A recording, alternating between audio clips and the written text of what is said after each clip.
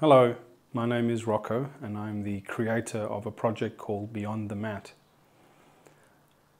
This project is something that I'm aiming at owners of yoga studios and directors of yoga studios because the offering that I'm about to talk about is something that enables yoga studios to expand the horizons of their studios and expand what they offer to their members.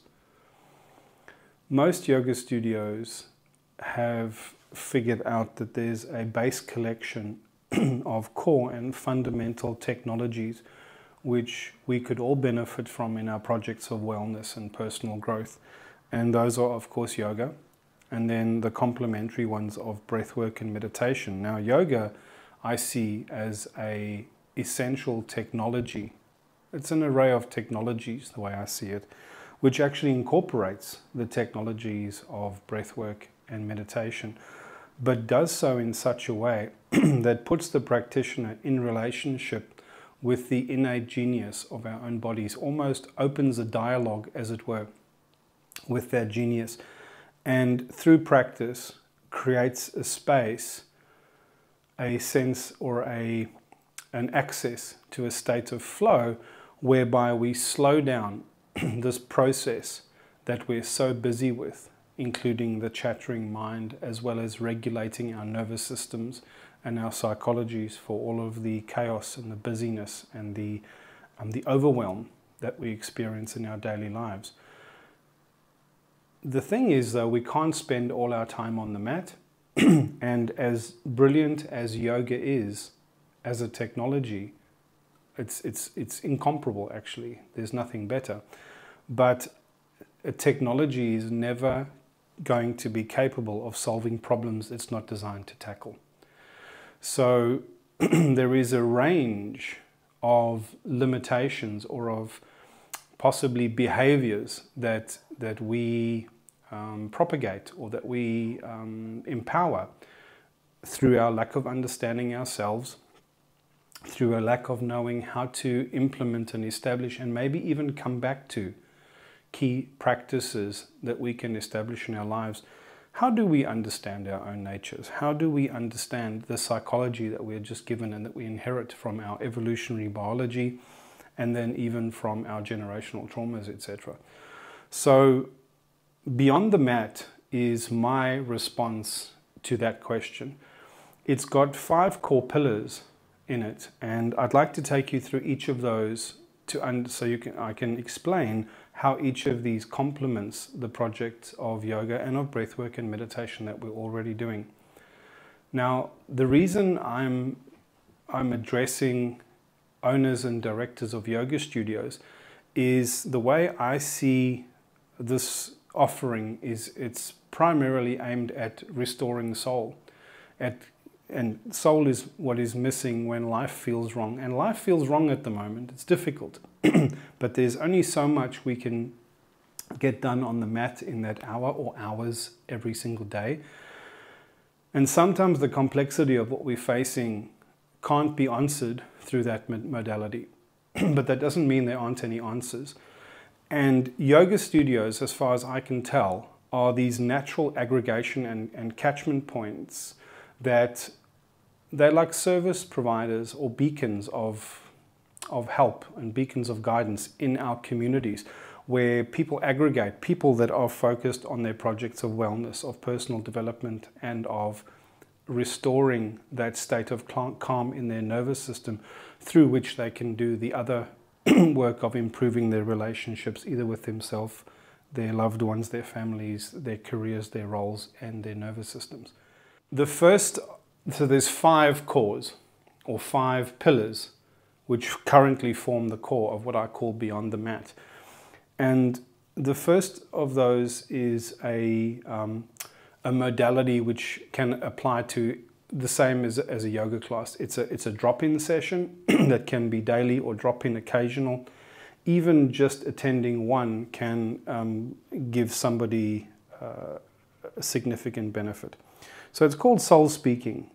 How soul speaking works is instead of the project of meditation, which actually aims to silence or arrest the storytelling componentry of our imagination and our consciousness, soul speaking harnesses that storytelling component.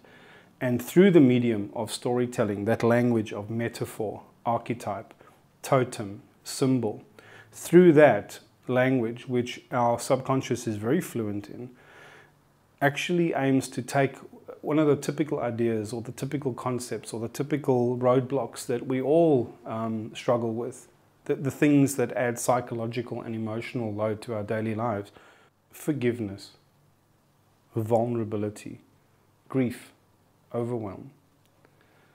These are the kinds of things that add an emotional or a psychological load to any life. And the, the practice of soul speaking is to invite participants onto the mat. These things can be 30 minute, 60 or 90 minute sessions. you don't have to have been to one previously to get value from a session just by dropping in.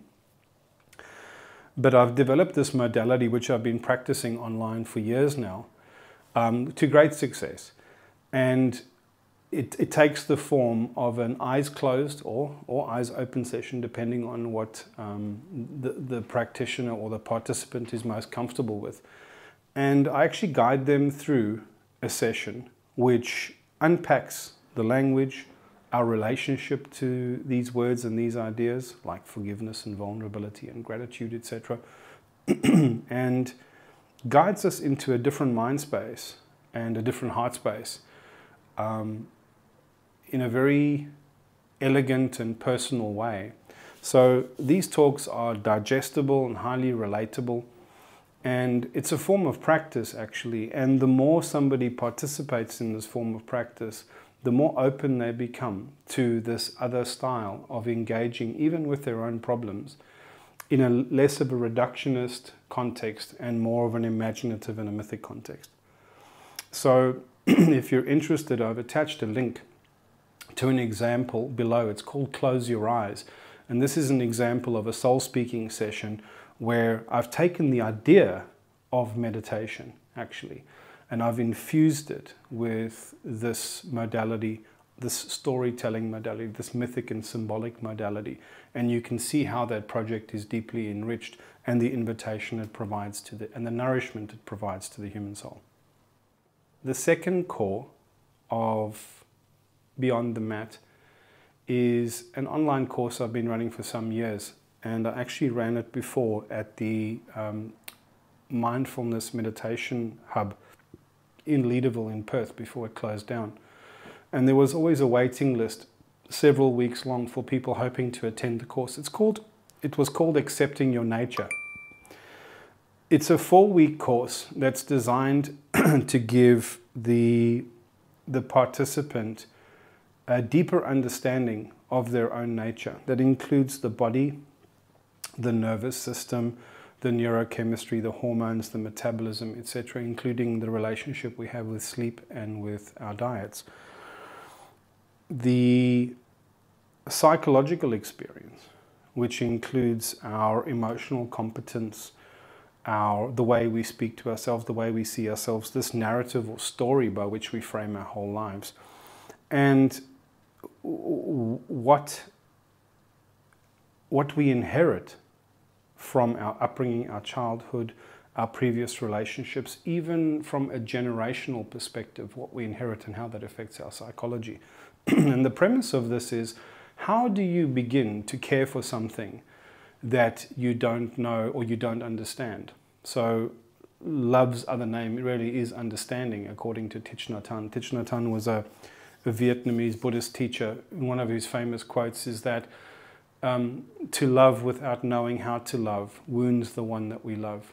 And he ends that quote by saying, Love's other name is understanding. The point of accepting your nature, the point of that course is it's broken down and designed in a very specific way to allow delegates or participants to get a much better understanding of how they arrive in the current moment and why their behaviors and their habits are shaped the way they are, why their default responses to certain things are the way they are, and to give them the insights and the understanding and even the language so that they can begin to debug the operating systems of themselves.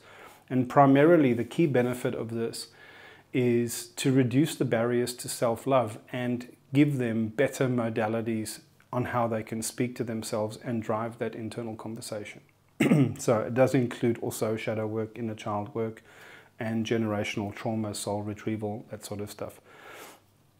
And as much information as is packed into that four week course, it remains digestible and approachable because for the medicine to be effective, it has to be digestible.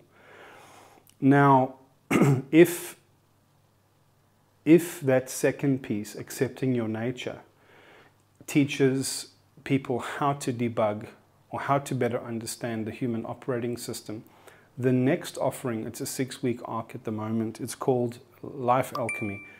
If accepting your nature is the means and the understanding of how to debug the human operating system, Life Alchemy is an introduction to how to apply that understanding in cyclic practices and patterns in our own lives. so, if anyone's looking to establish a daily practice and looking very specifically not just for a new instructional and a new framework, but the tools to help them reboot and re welcome them back into that cyclic approach when the wheels fall off, when things get difficult, when they lose track, which is what happens most often of all. There's six very specific things which um, I can link below this video if you want to understand what the benefits of that cyclic program are. The third, um, the, fourth, the fourth offering or the fourth core pillar of, of Beyond the Mat is called Just Be Like This Today. The premise of Just Be Like This today is that any of us can do a dozen things poorly, or we can do one thing well. And the invitation of Just Be Like This today, it's also a modality which can be treated like a drop in session or a regular daily session. Practitioners or members can drop in and attend the, the session, and these things can be either 60 or 90 minutes long. And the point of this is they get to put down all the other nagging musts and shoulds in their projects of personal development, wellness, and how to live a virtuous life. Sometimes we put so much pressure on ourselves trying to remember all these things and to apply them, and we always get caught not um, being able to step up to the level of our aspiration in moments of, of challenge and difficulty, we always fall down to the level of our integration. And just be like this today is, is designed to be one cup, one cup of living wisdom, of everyday philosophy that allows them to put down the enormous projects that everybody is busy with. Anyone who's committed to personal growth and improving their relationships and improving their lives always has this enormous load that they're carrying. and for that session, they get to put that down and they get to sit with one idea. Now, soul speaking is similar.